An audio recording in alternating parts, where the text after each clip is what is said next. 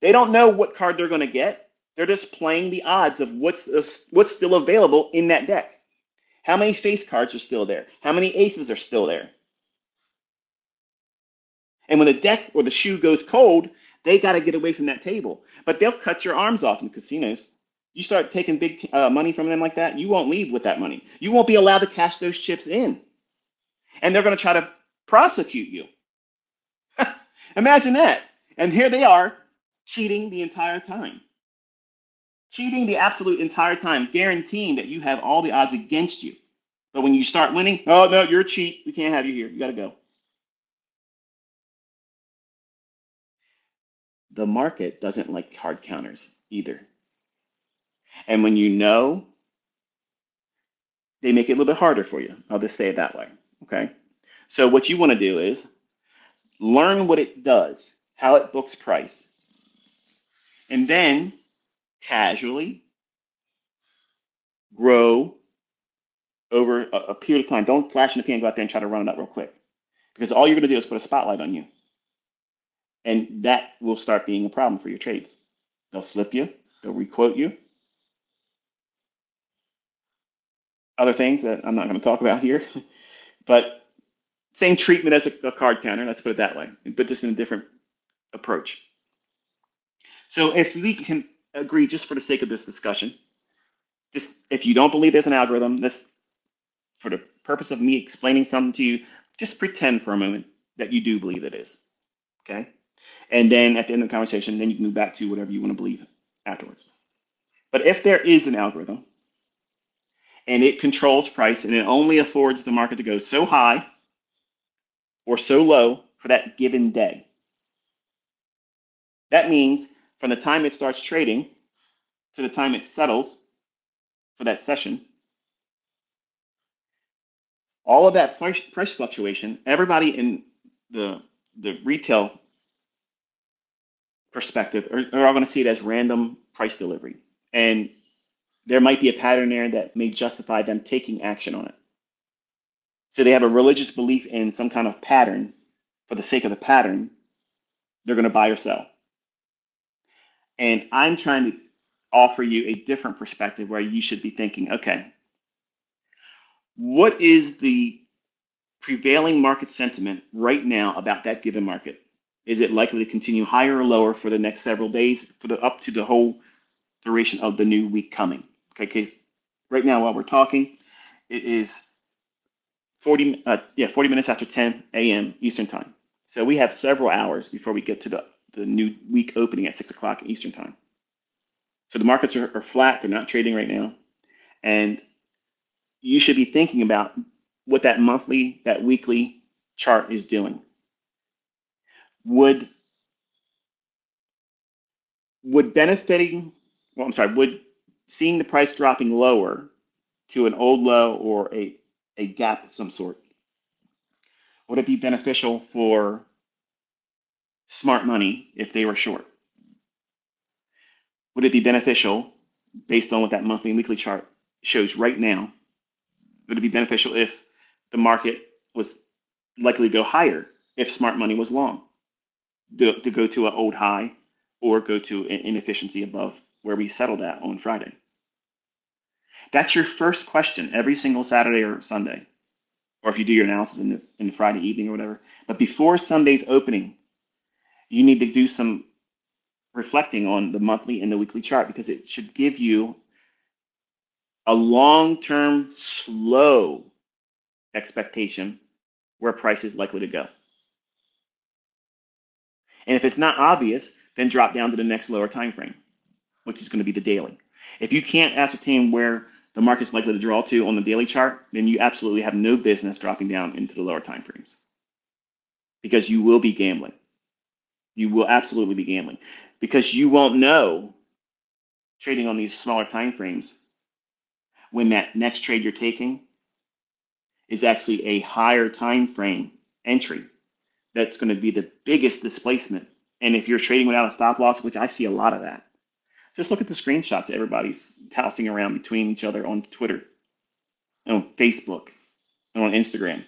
They, they don't even put a stop loss on, even to save face.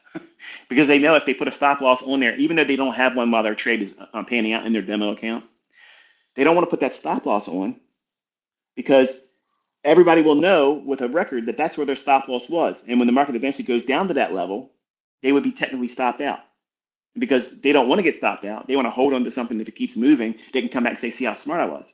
So that's why I, when I look at people and they share charts and they say, I've got the same trade as you, ICT. First question is, is I want to see the execution. I want to see the price, not the line, because the line could be three days ago. And it just so happens to look like it moved away from that, that price level. So I call my own students out with that bullshit. When I see people share a, a trade and they're a student of mine and they show their entry and they show their, they're getting ready to get their limit order tagged, but there's no stop loss. I'm not congratulating them on their good entry. I'm not congratulating them on the right draw and liquidity as an exit. I'm criticizing them by saying, where's your stop? Use a stop. That's mentoring. That's a mentor. That's someone who's trying to teach responsibility. I'm going to find your weakness because you're ignoring it and you need to work there. And in the marketplace, it capitalizes on everyone's weakness. What are the two most critical ones? Greed and fear. All it has to do is operate on those two pretenses. It's going to either scare the shit out of you or it's going to entice you that you're going to make a lot of money. Either one of them is going to cause action.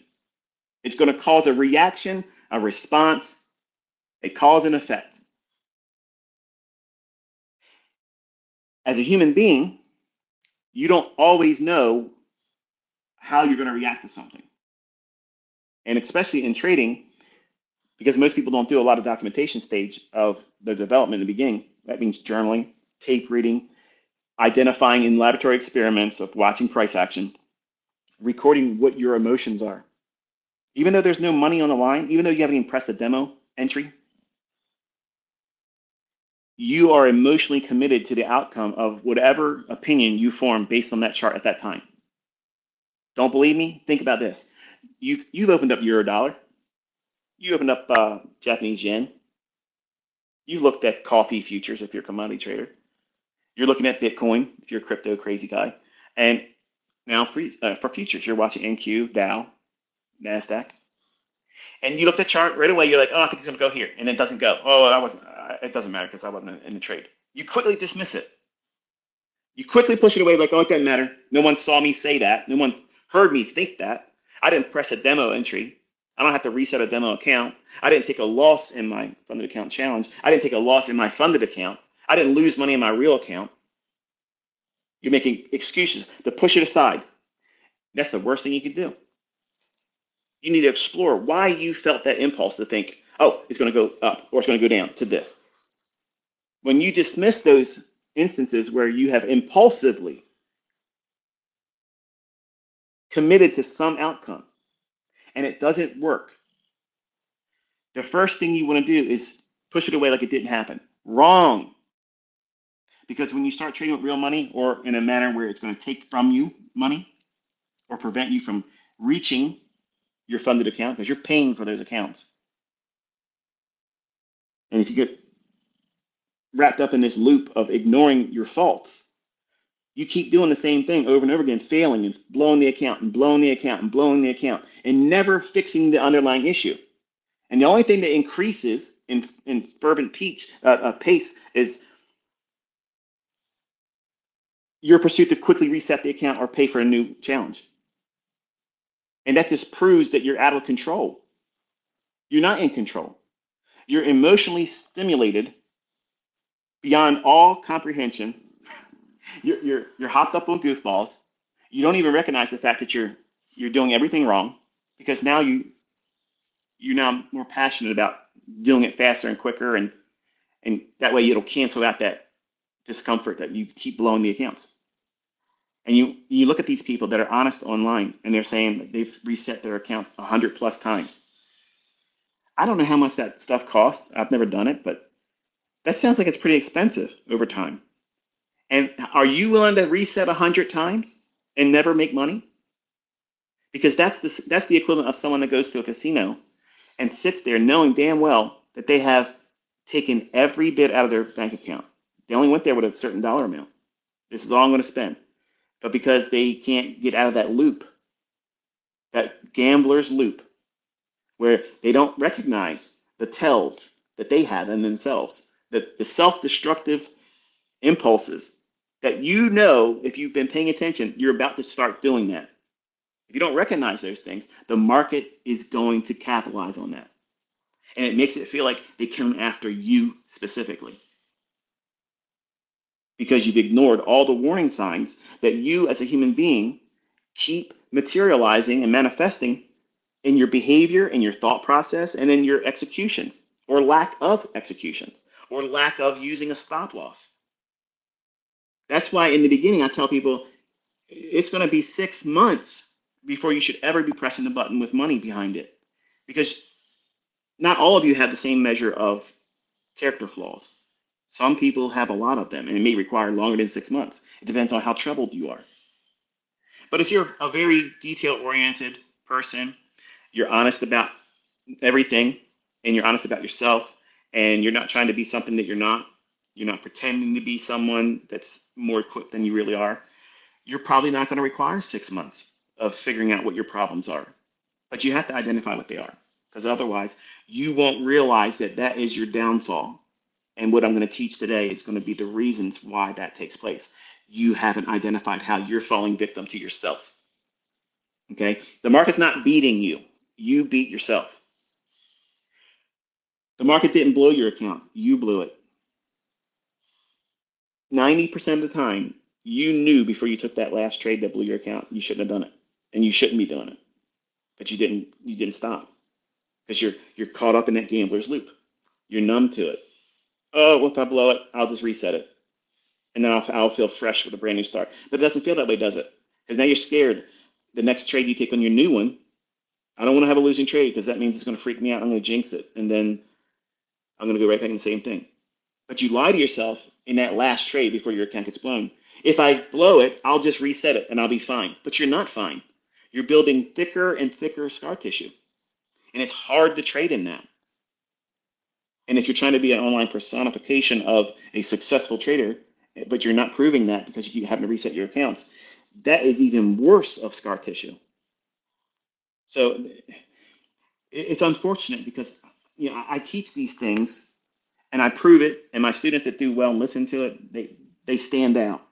But I do have students that can trade, but they don't how they don't know how to wrestle themselves. They haven't done the documentation stage of their own development in the beginning. They didn't do the things I'm teaching in this mentorship 2024. They didn't, they have not spent any time doing that.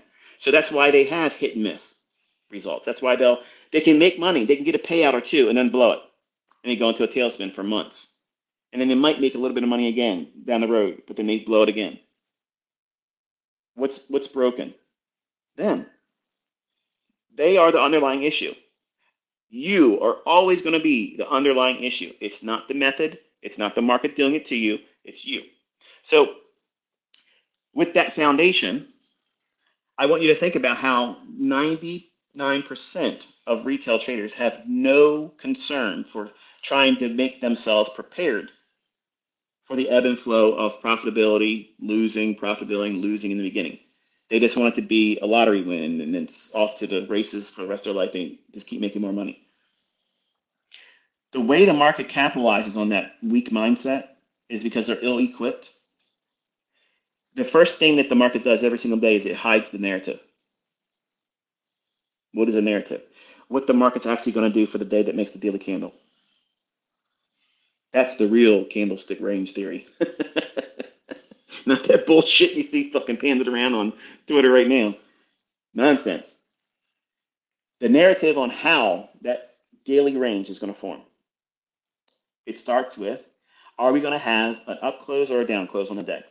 You're not trying to predict the closing price. You're just looking at the monthly, the weekly, and the daily to determine what is the probabilities for the market to go lower and close lower or go higher and close higher. What would be what would be things that would help with that? Well, if the monthly and weekly chart are reaching for an old high and they're in close proximity to it relative to that time frame. It still might be hundreds or a thousand handles away still. But you can see clearly that it's it's drawing to that higher time frame area of either inefficiency or an old high or an old low, something to that effect. And then in a daily chart, you, you start seeing each individual daily candlestick still moving in that direction, even though they may have one or two days that are opposing that. If we're bullish, you might see one or two down days in the week. But majority of the days of the week, you know, majority of each individual daily candle is usually an up day. That means it's it's confirming that it's it's gravitating towards that weekly or monthly draw. And by hiding the narrative, I mean that they're going to cause some kind of initial excitement. That's the Judas swing in the morning. Okay, and what they'll do is they'll use the 8:30 news time, even if there is no economic calendar release. 8:30 still creating some kind of a Judas swing. Now think about that. We would expect, oh, the news is going to push the market around. That's what they'll say. The news pushes price up and down. No, it doesn't. The buyers and the sellers at the time of the news, when nobody can even get trades in, but yet it's buying and selling pressure. You see how fast this shit falls apart? But because they say it to you so many times, and it's in every book, and everybody just regurgitates it and says the same thing over and over again, Hitler Hitler proved it. You tell a lie big enough and loud enough and long enough, eventually everybody will believe it. But when I'm standing here and telling you this is what it really is doing, and then what I'm telling you it's going to do, it does it. it. And not that I'm trying to prove that you need to be right or that I'm trying to prove that I'm right. I'm just saying the logic is right.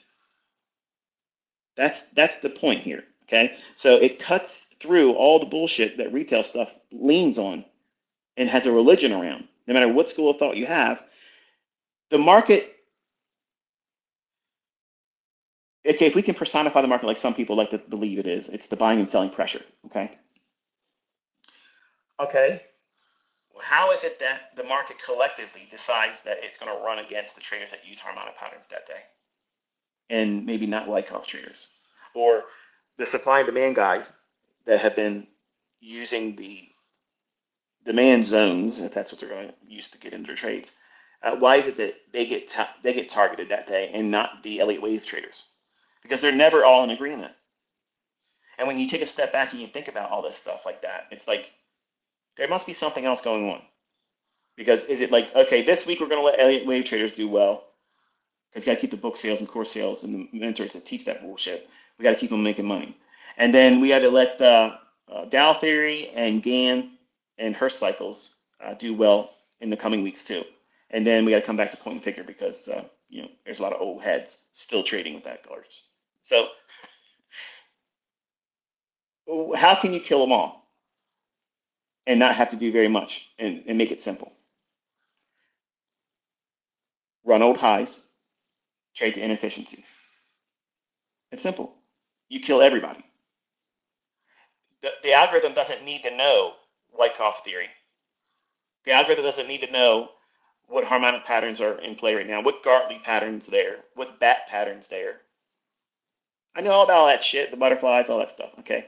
The only butterflies I see in, in trading is my students when they're doing it right. They get butterflies. Okay. There's no fucking butterflies in patterns in, in the charts. That's that's nonsense. It's garbage. Okay. It again is another religion. It's a fairy tale. The truth is the market only goes up to tap into pending buy side liquidity. Or it goes up to rebalance and or redeliver to an inefficiency. That's all it goes up for. That's the only reasons why it goes up. The market goes down to trade into sell side liquidity, below and low or relative equal lows, because there's pending orders down there.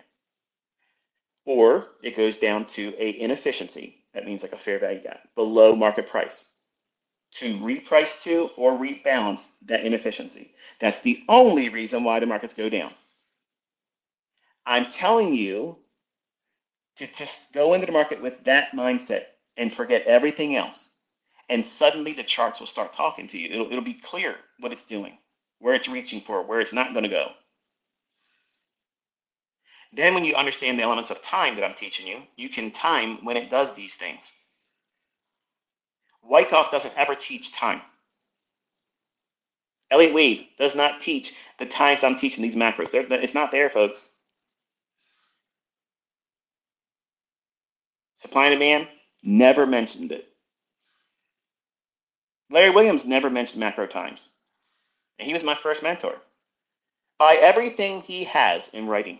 Buy every single one of them, okay? And I promise you, you'll never see that stuff there.